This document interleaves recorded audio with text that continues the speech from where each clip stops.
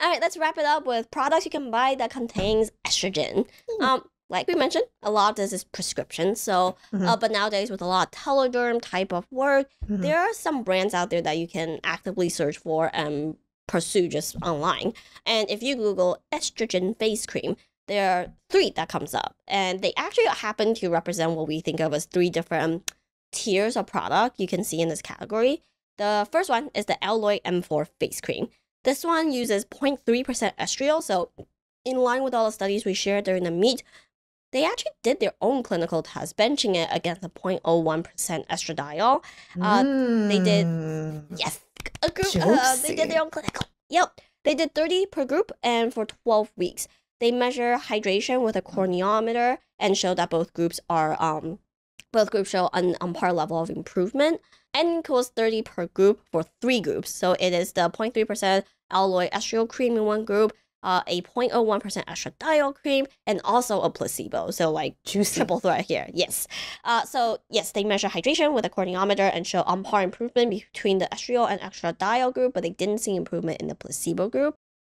They showed that elast. What's interesting here is that they actually showed that elasticity wasn't affected, but I should Mm. mention that this is a more standard cosmetic styled um uh cosmetic length uh clinical that's only done for 12 weeks whereas Mhm. in the papers we found it's done for 6 months. So uh clearly this is something that might take a little longer and they also did expert evaluation and show on par improvement between the est- the two estrogen groups uh in terms of radiance and skin roughness. And again, there is no unwanted side effects and what I find to be really neat for the um for the study that we didn't kind of cover in the we didn't cover in the meat section is they mentioned very specifically that there is no change in unwanted age-related pigmentation, which Mm. is often thought about as a potential side effect of topical hormones.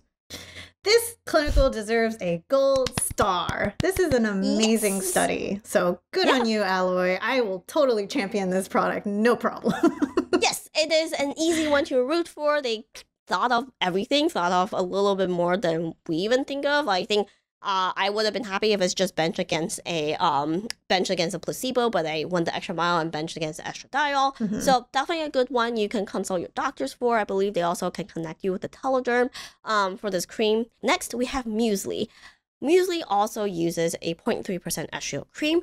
Um, they also talk about how this cream also has vitamin C and HA, and it's a unique blend of ingredients, blah, blah, blah. But no studies have been done on Musely. They're just relying on estriol being a prescription ingredient and the coattails of other people's study. I think this is a more, uh, probably more standard approach, I would say. Mhm. Um, but compare with the alloy, I will have to root for the alloy who actually sure. tested their specific product.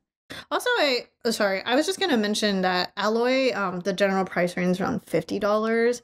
And then Mhm. usually you're looking at around 33. I don't find Mm. that price point to be that wide in gap. I was expecting like, you know, pharmaceutical price range every time you get a clinical like that. But so for me, I, I think there's a clear winner winner. Um, I Mhm. just I think, you know, let's be real. Like we're all using vitamin C and a vitamin C serum. We don't necessarily need that in addition to, you know, the estriol here. So I wouldn't use that as like a clear deciding factor in choosing one or the other. Yeah, hundred percent. Um, lastly, if you Google estrogen face cream, this comes up. It's a brand called Emepelle.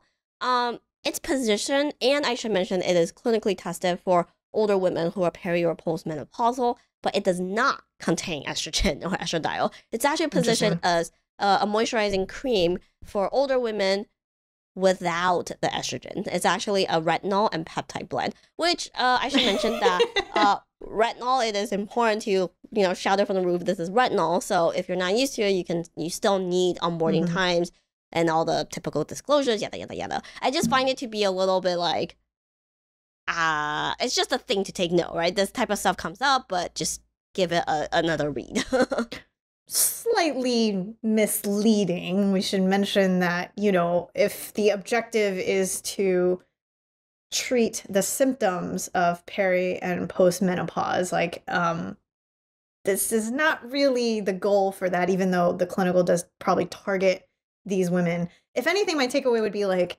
keep up the retinol like during this period while you're using your topical estriol estradiol, you know, like that that would be my takeaway.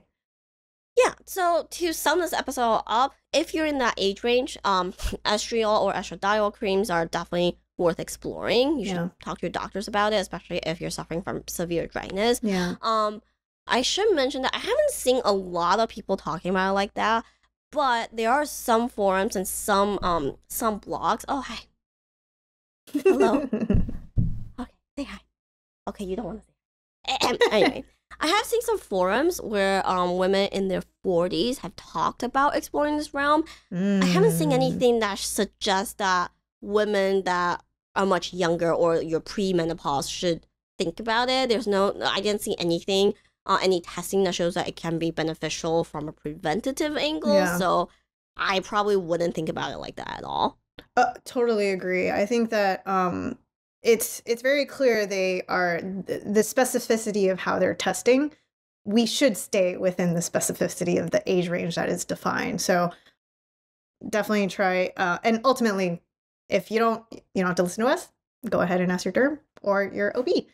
And finally, I think there is something we should also mention is, you know, a lot of the studies we share, they might sound like they're, you know, from 20 years ago. Um, we do share what we find to be the most relevant or we find the clinical test to be done really well. But we will say that we, you know, as mentioned before, this category is starting to pick up in research again. I think they're starting to realize like a lot of women out there are being like, hey, uh, what about me? You guys are forgetting about me. So that's a really good sign. They're actually exploring more of the isoflavones. So you might hear about the hormone like ingredients that are coming from gen- like things like soy. Um, so we would say that this room, there's definitely buzz. There's definitely testing, um, but a lot of it still is pretty new. And this is uh, general territory that Gloria and I are keeping tabs on. And we will share in the next in the near future. So yeah, stay tuned for that. Yeah. Last but not least, if you already have an estrogen cream in your routine or you're thinking about adding one, Sorry, I can, can hear Kumo purring into the mic. Oh. Everyone's like, Oh. What is that vibrating? that is my gato. Uh, anyway, come on, chill.